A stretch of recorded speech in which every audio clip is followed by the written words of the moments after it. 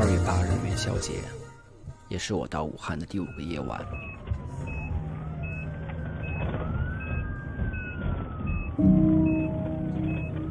我约了一位医生在酒店采访，到了酒店，医生还在加班，但是我却碰到了一只小猫，一只有故事的小猫。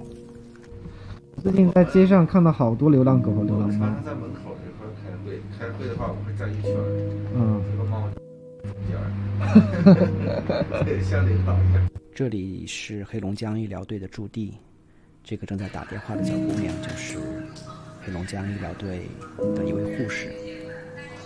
那个是你自愿来的吗？啊，是自愿来的。为什么呢？害怕吗？嗯，害怕，刚开始还会有一点，现在也是有一点点。在前一天，我去了武汉协和医院西院，试图在那里待上二十四个小时，想拍摄一部关于病人、医生以及护士的一部短纪录片。从二楼到十五楼，这里医院的住院部已经被改造为一个三级保护隔离病房，用于治疗重症新型冠状病毒患者。尽管已经约好了，但是当我进入其中一个病房的时候，我却被突然告知我不能携带任何东西进入隔离区，包括我的相机、我的所有的设备，甚至包括我的手机拍摄也不可以。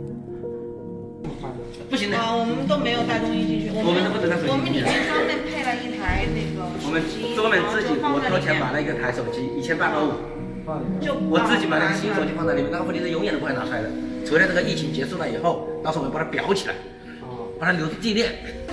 带进去的东西必须留在里面，一片纸都不能流出特殊病房，这就是这里的规则。这里的医生和护士必须穿着两层防护服、手套、鞋套、口罩以及护目镜，才能够进入那个特殊的隔离重症隔离病房。我的脸都破了。对啊，里面都是水泡。不然的话，我这样戴没法戴，太疼了。最后想尽办法，我还是带了一个 GoPro 进去。拍摄结束后，我不得不把它放到消毒器里面泡一整天，来消灭病毒。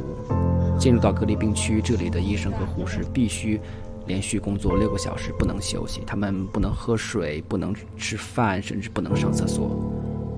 领导给我们用了那个纸尿布，现在穿了吗？呃，今天没穿。今天没穿，平时有穿是吗？有。那如果说咱们如果想上厕所的话，就只能憋着，是吧？这一套防护服三百多块钱，我们要这样子看着了。这里我遇到了唐兴医生，也就是之前我呃约在酒店一起共度元宵采访的医生。我是刚给那个一个病人上了一个尿管，嗯，然后把那个操作的第三层手法给他给他脱掉。他说，重症患者在这里需要非常特殊的照顾。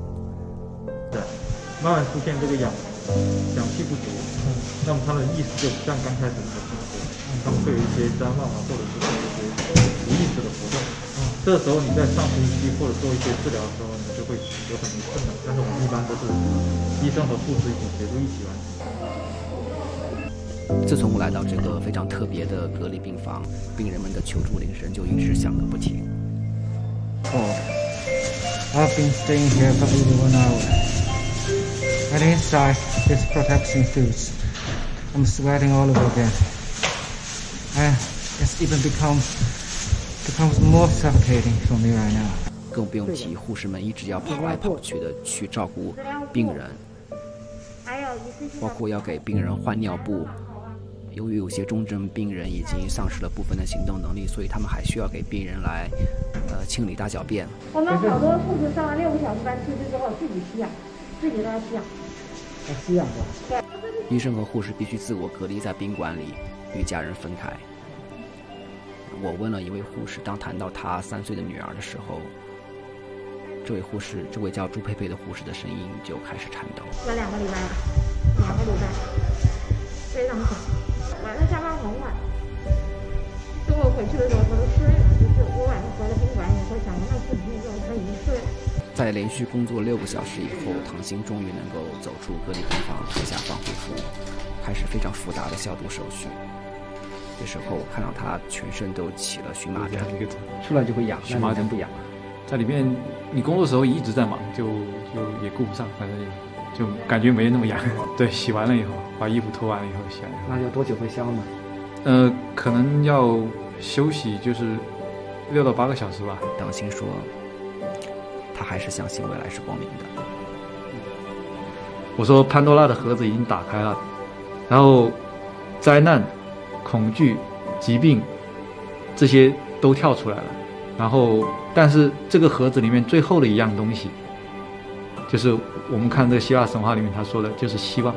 嗯，只要希望还在，那么之前的所有这些都不会是什么问题。正是这些人让我以及让我们相信，呃，不管现在有多难，总有一天我们是能够以及必须打赢这场与病毒的战斗的。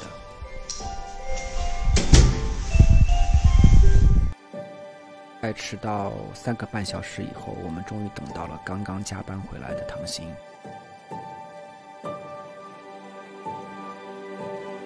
节日快乐！嗯节日，快乐！唐雨晨，你今天吃汤圆没有啊？吃了，嗯，早上吃汤圆，中午吃点肉。哦，我好像那个湘雅的也去了对对，啊北京的、上海的、广东的，啊！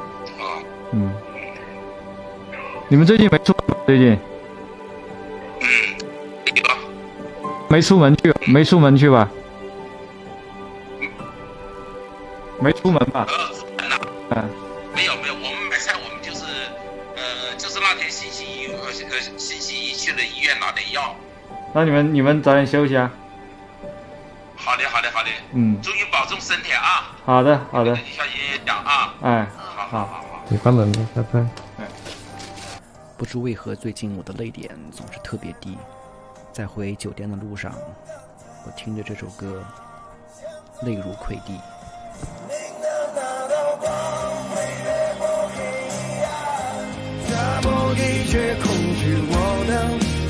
非常好。